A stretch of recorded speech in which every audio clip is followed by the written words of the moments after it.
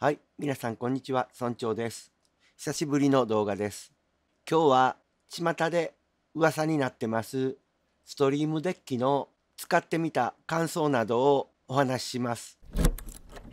村長ミュージックスタジオ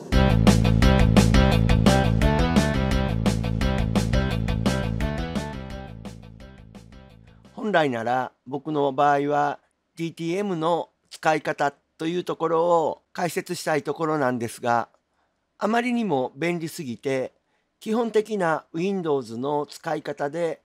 とってもハマっています。ですから DTM のセッティングに行くまでの面白いストリームデッキの使い方を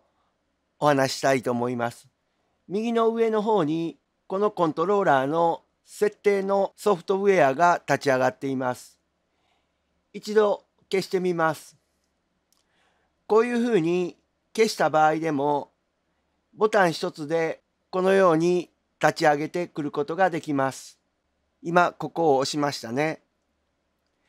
例えばここにいろんなアイコンを設定したりしていくんですけれどもこの2段目2つ目のボタンにアイコンがこのようにすぐに出てくるように設定しています。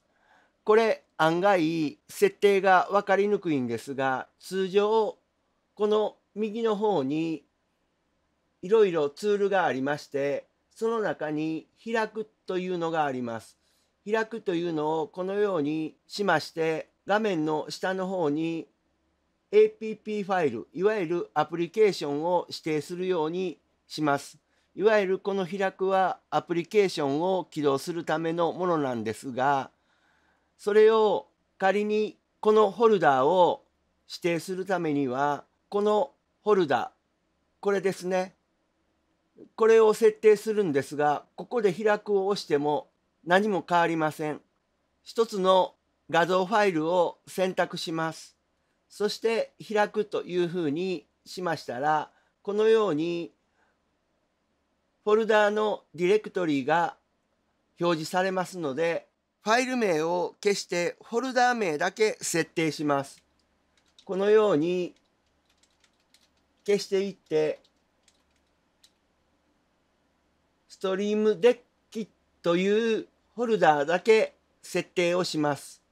このようにしておけば閉じた時に指先の方を見ていただいたらここに今設定したアイコンができています。これをパッと押すとこのフォルダーが開くようになります。もう一度言いますと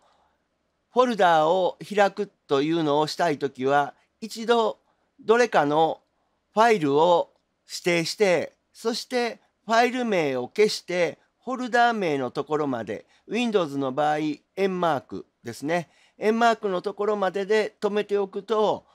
こうやってフォルダーを開くことができます。そして僕は今までソフトウェアがとっても好きというかこの音楽の仕事をするまではコンピューターのソフト会社をやっておりました。まあ今も会社がなくなったわけじゃなくやってるんですけれどもそういうこともありましてソフトがとっても大好きです。DTM のプラグインだけじゃなくってもうありとあらゆるソフトを買っていますが買ったけど使わないというのがあるんですね。例えばこの画面のところに赤いカメラマークの録画とかその隣に圧縮とかいうのがあります。この圧縮ソフトは動画を10分の1ぐらいの大きさにできるソフトなんですがやはり立ち上げようとするとこう画面がどうしても一度消しますがたくさんのショートカットアイコンとかがあって2画面構成になってますので左側の画面にも山ほどショートカットがあるんですね。こういう中でどれだったかなとかもしくはスタートメニューからずっとこういうふうにスクロールをしてですねそして探さなければいけません。こういう時にボタン一発でこの機能を呼び出すことができます。V のボタンを押します。そうすると動画圧縮のプロというソフトが出てきてここに動画をドラッグドロップするとこの機能が使えるんですがこういう便利なソフトをたくさん持っているにもかかわらず今までは正直使っていないというような状況もありました。ここで特にこういう便利なソフトがあるということを説明したいと思います。例えばこのようにして画像を検索します。風景画像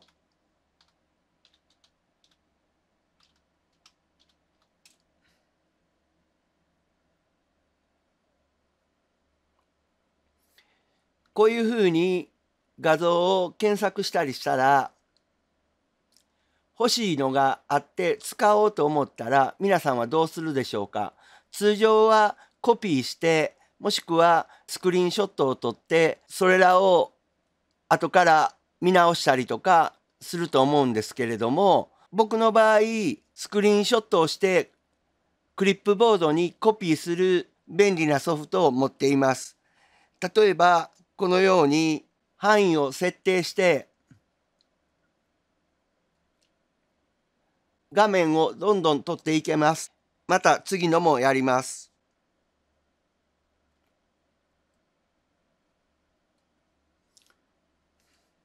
3つ目やります。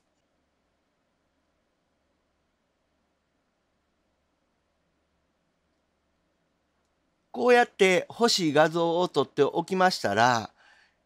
オルトキーを2回押しをするとこのように今まで撮った履歴が画像でももしくはテキストでも例えば今画面上に風景画像フリーというのがありますがこれをコントロール C でコピーしますよね。そうするとまたオルトキーを2回押すとこのように風景画像フリーというふうに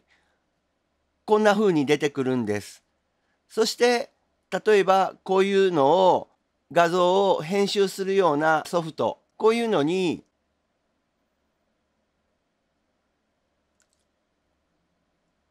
貼り付けたいと思った時に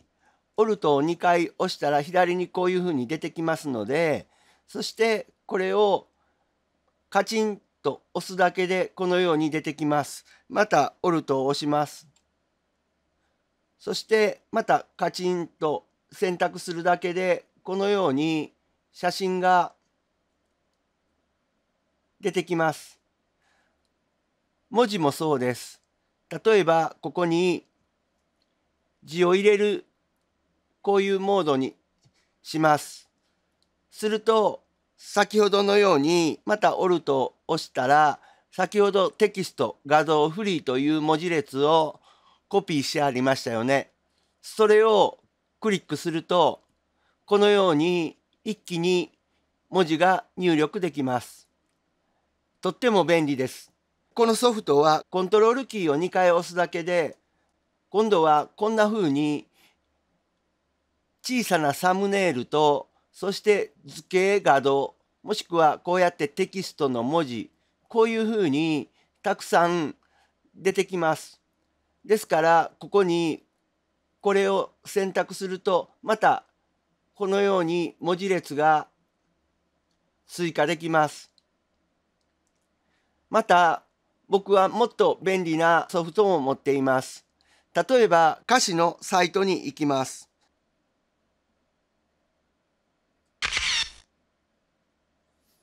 はい。このように歌詞がキャプチャーできました。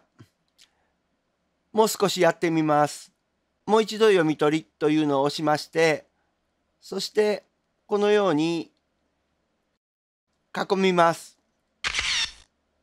するとこういうふうにできました。ここでも簡単な編集はできるんですけれども、これをテキストファイルに持っていきたいと思います。どうするかというと、この2段目の4つ目にメモ帳というのが設定されています。それを押しますと Windows のメモ帳が出てきます。そしてこちらのテキストのところに行ってもしこれが何も選択されていなくてもその下のところにコピーオールというのがありまして全てを選択してコピーをしてしまうというボタンを割り付けてあります。このようにですねそしてこのメモ帳の方に来ましてそれを貼り付けというのが3段目の右下にありますのでそれを押すとこのようにメモ帳に一発でテキストが表示されます。このように便利なソフトは